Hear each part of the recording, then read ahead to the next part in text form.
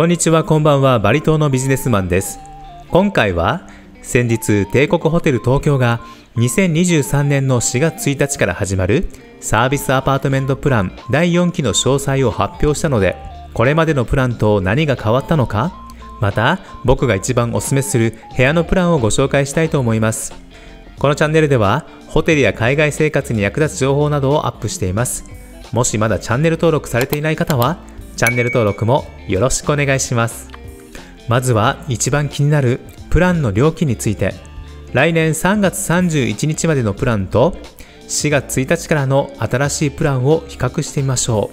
う。一番お手頃なスタジオタイプは部屋は全く同じなんですが、25階までのレギュラーフロア、26階から30階のハイフロア、最上階にはペントハウスフロアがあって階層が上がるほど値段が上がるシステムとなっています。他にもお部屋が広いプレミアムスタジオ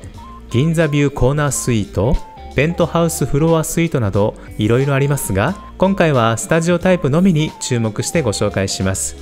まず現在のスタジオタイプのレギュラーフロアのプランは30泊で37万8000円ですが第4期の新しいプランになると39万6000円。1万8000円の値上がりになります。値段はすべて税込みです。ハイフロアだと30泊で44万1000円でこちらはお値段据え置き。現在のプランの値段と全く変更がありませんでした。ペントハウスフロアは30泊で50万4000円が52万2000円とこちらも1万8000円の値上がりになるようです。今の時代の流れだと多少の値上げは仕方ないですよね。今年の4月にはロイヤルパークホテルの15万6000円だったロングステイプランも5万4000円35%値上げして21万円に。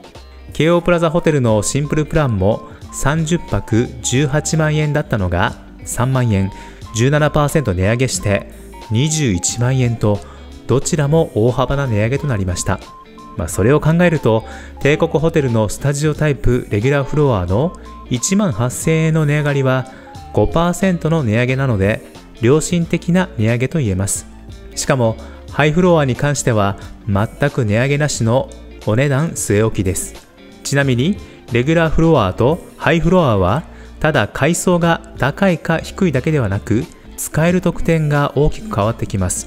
例えば現在の特典についてはこちら。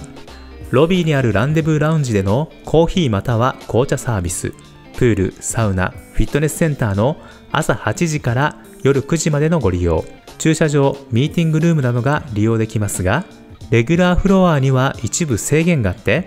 プール、サウナ、フィットネスセンターの利用が朝10時から夜7時まで、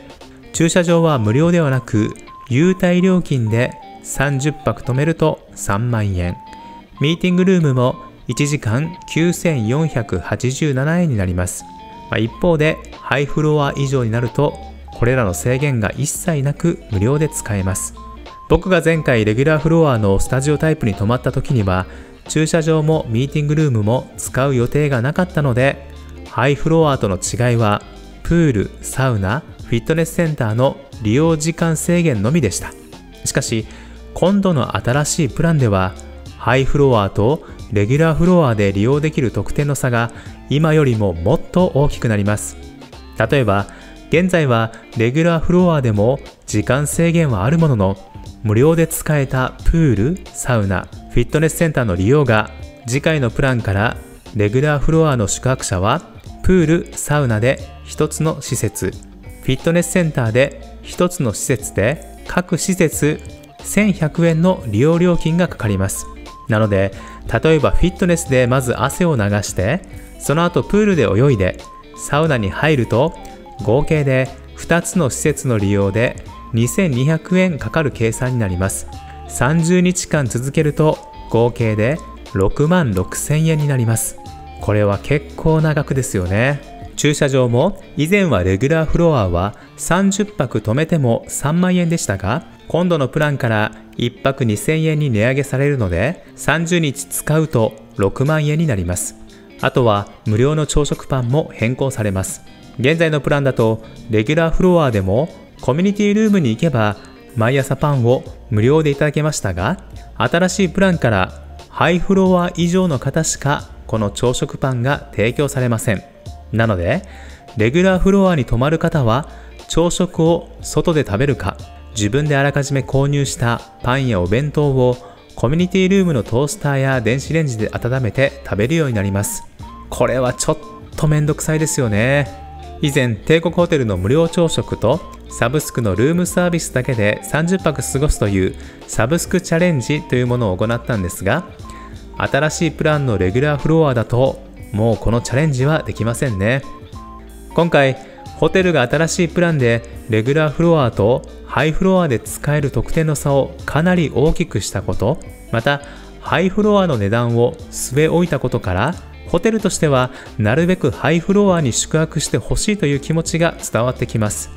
僕個人としてももし次回のプランで帝国ホテルに泊まるならレギュラーフロアではなくハイフロアにすると思います。なぜなら気兼ねなくフィットネスやプールサウナも入りたいですし朝食のパンも同じフロアで用意されていたのでホテルの外に出ることなく朝食を済ませられたのは本当に便利だったからです。でもハイフロアは44万1000円でレギュラーフロアの39万6000円より4万5000円も高いしなぁと思っているあなた。安心してください。今回帝国ホテルはハイフロアもレギュラーフロアと全く同じ値段で泊まれるような抜け道を用意してくれました。その方法がこちら。インペリアルクラブインペリアルクラブグレース会員様ご優待料金です。このインペリアルクラブに入会するとハイフロアスタジオタイプのお部屋がレギュラーフロアの値段と全く同じ30泊39万6000円で泊まれるようになります。しかも5泊に関しては5泊11万円とレギュラーフロアの15万7000円より4万7000円も安く泊まることができるという逆転現象も起きています。これは使わない手はないですよね。インペリアルクラブとは帝国ホテルのメンバーズクラブです。このインペリアルクラブクレジットカードを作らないと入れないのですが初年度無料で入れますのでサービスアパートメントを利用されるなら入っておくと大変お得になります。次年度の年会費はゴールドで1万1000円。一般で1375円ですがもう使わないと思えばカードを解約すれば年会費は取られませんので実質無料で入れます。30泊でレギュラーフロアと値段が同じ。また5泊だと4万7000円もお得になるなら特典に制限のないハイフロアに泊まった方が絶対お得ですよね。フィットネスジムプールサウナ駐車場ミーティングルームの制限がなくなって無料の朝食パンもついてきます。さらにこのインペリアルクラブに入るとアーリーチェックインレイトチェックアウトも使えるのでサブスクのルームサービスを頼んだ方は最終日のチェックアウトの日も15時のレイトチェックアウトにして昼食をルームサービスでゆっくり食べてからチェックアウトすることも可能です。他にも滞在中毎日新聞を届けてくれたりいろいろ他の特典もあるのでかなりお得です。さらに11月1日から12月31日までにこのインペリアルクラブに新規入会するとこちらのページにあるようにいろいろな特典がついてきます。特典その1会員専用ラウンジインペリアルクラブラウンジソフトドリンク無料券サンドイッチ10%ご優待券各2枚と特典その2抽選でホテル商品をプレゼントとなっています。まあ、ホテル商品は1組か2組、また多くて5組しか当たりませんが、まあ、当たると結構大きいですよね。例えば、一番上の東京または大阪のスイート1泊宿泊券。まあ、これは値段にしたらこう価値の高いプレゼントではないでしょうか。まあ、僕はもうすでに入会していますし、まあ、今バリ島にいるので、まあ、誰かを紹介することはできませんが、ま、もしサービスアパートメントを利用したい方は、ま、入会を検討してみるのはいかがでしょうか。なので第4期のサービスアパートメントを利用される予定の方はこのインペリアルクラブに入会してからハイフロアの30泊39万6000円か5泊11万円で予約してついている特典を最大限に利用するという方法が一番お得だと思います。他にも帝国ホテルのサービスアパートメントの目玉サブスクのルームサービスの値段も変更されます。現在のプランだと30泊のルームサービスの値段は6万3000円。次回のプランから30泊7万5000円になります。宿泊プランは5%の値上がりでしたがサブスクのルームサービスは今回19%と結構な値上がりです。まあ多分人気があるんでしょうね。現在ホテルニューオータニのサブスクのルームサービスが1人1日3品限定で8万2500円ということを考えると帝国ホテルのサブスクのルームサービスは1日何度でも注文できて毎日帝国ホテルの美味しいカレーやケーキをお部屋で食べれますので1日最低1回は利用されたいという方ならこの価格でもまだまだお得だと思います。またサブスクのランドリーサービスも値上がりします。コミュニティルームに自動洗濯乾燥機があるので自分で洗濯はできるんですが